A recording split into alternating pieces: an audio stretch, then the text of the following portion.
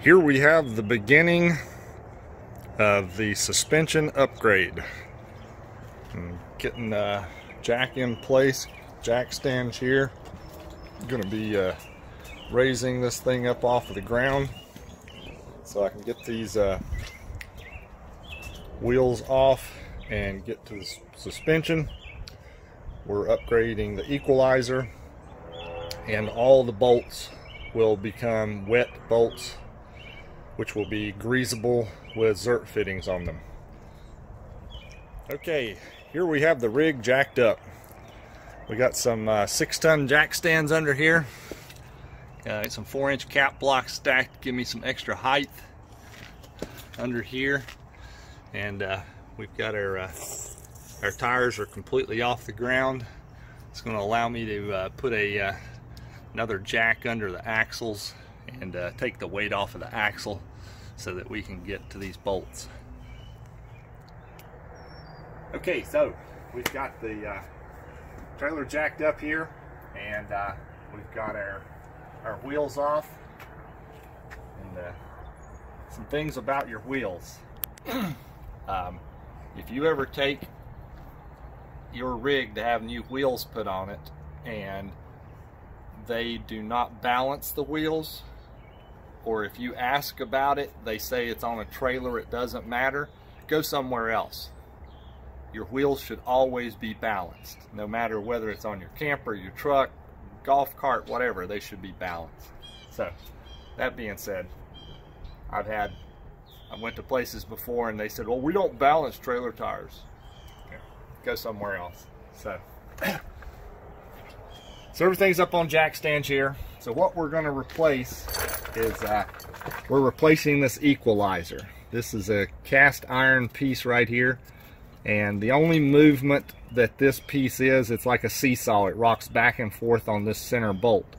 So when this axle goes up or down, it affects this equalizer and it either lifts it up on this end or, or down on this end. And what that does, it causes chucking in the suspension and all of that chucking and that vibration from this equalizer goes right up through this frame and vibrates your whole rig as you're driving down the road. So what we're putting back on here is a Lippert Trail Air Road Armor. So this is going to go in here and then we've got new straps and new bolts. So as you can see, looking at that and looking at this, and this has a rubber compound in here that absorbs that back and forth motion when you're going down the road. And this device here also has the capability of swinging more than three and a half inches in each direction if you hit potholes or divots in the road. So our new hardware that we're putting on, we're replacing all these bolts. We're even replacing the rear shackle and the front shackle bolts. All of these bolts are going to be wet bolts. You can see there's a Zerk fitting in the end where you will be able to pump grease through this bolt, comes out through this hole, and that grease gets inside of the bushing, inside of the, uh, the roll of this leaf spring. That greatly extends the life of the bushings and the bolts, the hardware and everything. so these shackles here, this is what come on here. If you can see how thick these things are, they're, uh, they're pretty thin piece of metal. the kit that I ordered to go back in here is considered heavy duty. There is the thickness of the heavy duty shackles with the wet bolts in them compared to what comes on it. These things here, I've seen them, people report them bending and warping. I don't think there'll be any trouble with these shackle straps here bending or warping. So these will go back in with the new uh, equalizer we're putting in and we'll grease everything up. And uh, here's the back of the shackle straps you can see. And uh, I couldn't believe when I took them out of the box how thick they actually are compared to what's considered a standard duty uh, shackle strap. So, and I've got I've got uh, jack stands underneath the axles themselves. So we've taken the weight off of these axle straps so where we can get these out, put the new ones in, and get the get everything retorqued. So we'll uh, we'll get these changed out and keep going. So here we are with some uh, disassembly happening. So the one thing I found out was this Road Armor equalizer, if you have shackle straps that go on here that are two and a quarter inches, and this is a 35 inch center to center axle assembly, you will not be able to use a two and a quarter inch shackle back. You can see it's not going to make it. So I had to order three and an eighth shackle straps. You can see here the difference in these.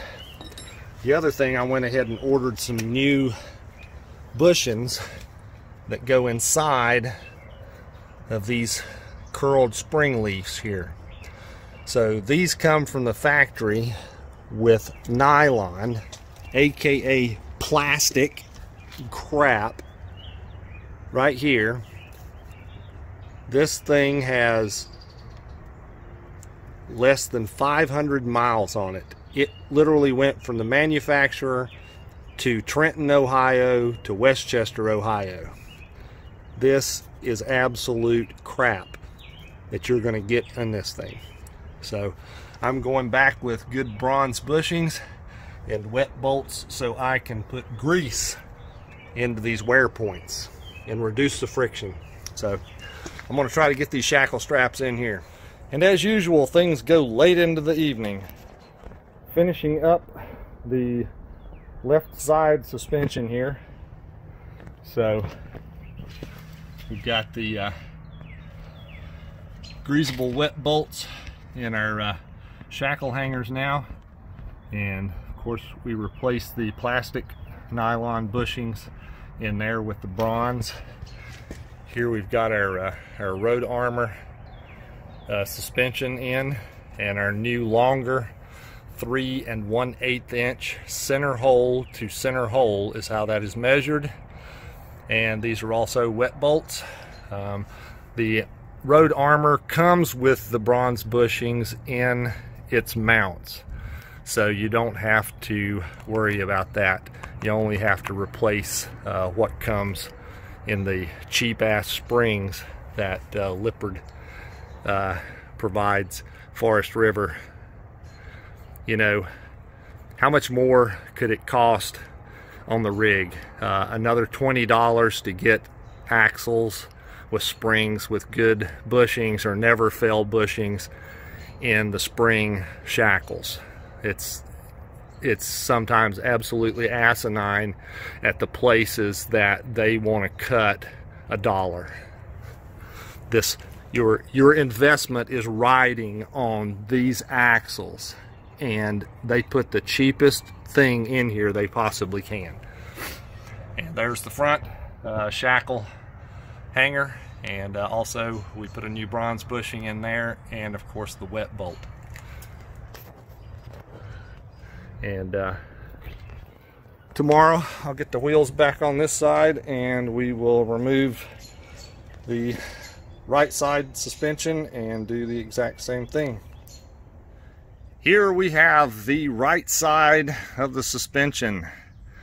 Everything is uh, back in place and uh, you can see here we have a new bolt back here. I have not put the Zerk fittings back in yet um, due to having to hit these uh, bolts with a hammer to seat them back into the uh, shackle hangers. Uh, you want to take that Zerk fitting off, make sure you don't damage it or snap it off in that uh, threaded opening. So here's our road armor uh, new equalizer and uh, you can uh, see the thickness of these uh, heavy duty shackle straps. I'm to reach and get a one of the uh, shackle straps that came off and uh, hold it up here and uh, you can uh, see the uh, difference in uh, what comes on the uh, cheap suspension setup and uh, what we have here for the heavy duty. So out with the cheap, in with the heavy duty. And here's our front spring hanger and we got our bolt in place there. And um, all of these bolts get torqued to 50 foot-pounds when uh, when you put them back together. Um, it doesn't sound like a lot. Um, typically when you're dealing with heavy duty components you're upwards around 80 pounds 80 foot-pounds of torque but uh, Lippert says only to torque these up to 50 pounds. It says 30 to 50 but I'm going to go to the high limit and I'm going to do mine at 50 pounds. So, and uh, we'll uh, get the, uh, the wheels back on here and get all of these jack stands out from under the rig and uh, set it back on the ground. We've got all of our greasable Zerk fittings back into the head of our bolts.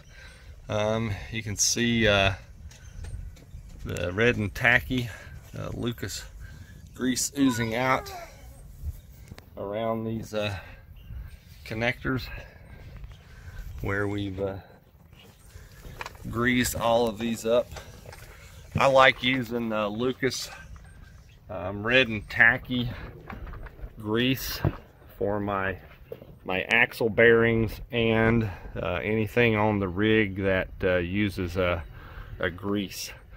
Basically, it's uh, it's a very high temperature. It's like a 540 degree uh, breakdown temperature on uh, Lucas's uh, red and tacky grease.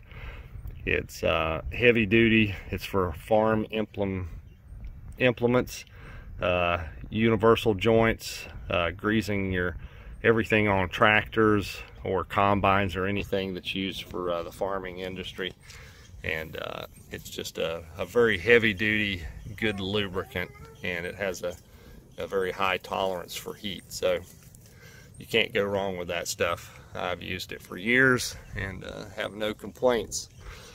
So we're going to get our uh, our wheels uh, mounted back on this side. And I think while I've got this thing raised up here I think I might do a little fine tuning on the uh, brake adjustment here. I want I want these things to just have a just a, a little bit of uh, rub on the brake shoe there. And uh, I'm going to adjust all all four of the uh, brake shoes. And uh, I'll get it back together and on the ground and uh, we'll take another look. Okay I'm to put this on here with the uh, spare tire relocation. Um, the Forest River Sabre 38 DBQ comes factory with um, these Castle Rock STs and um, they're uh, a no-name made in China tire uh, and uh, I'm sure they're I think you can buy them off of Amazon all day long for about $80 a tire and uh, these things uh, will pop on you going down the road and they will tear up your rig and leave you sitting on the side of the highway. So this is the second uh, fifth wheel we've had where we've used Carlisle tires. They are made in China, uh, as you can see here, stamped on the wheel or the tire. And, but Carlisle uh, is an American company and they do monitor the production of these tires I'm pretty sure that the uh, someone had said that the Carlisle factory in China is a 9006 ISO certified uh, facility. So these are a load range G 14 ply tire um, and has a single max load range of 4,080 pounds per tire. This is a ST235-80 R16. The tire series is called a CSL 16. they only make two sizes in this G rated tire. So uh, we replaced um, all four of the tires on the uh, fifth wheel with these Carlisle G rated tires. And we also run our uh, tire pressure and tire air temperature monitoring system called EZ Tire on these. So um, just thought I would put that out there in this video with the relocation of the spare. And the spare I'm keeping the Castle Rock uh, ST that came with the camper um, due to the, uh, you know, that should only be on there a short period of time if I did get a flat while on the road. Uh, one reason why I went with the Carlisles is that they are readily available through uh, Discount Tire and you can get them with a road hazard warranty. If you ever run over anything or get a screw or a nail in these tires, up until they are to the point of being considered worn beyond good use, which I think is something in the range of like 3 sixteenths of an inch of tread life left, they will replace the tire in its entirety, not prorated replace the tire. So that's why I went with uh, the Carlisles and I got them through Discount Tire.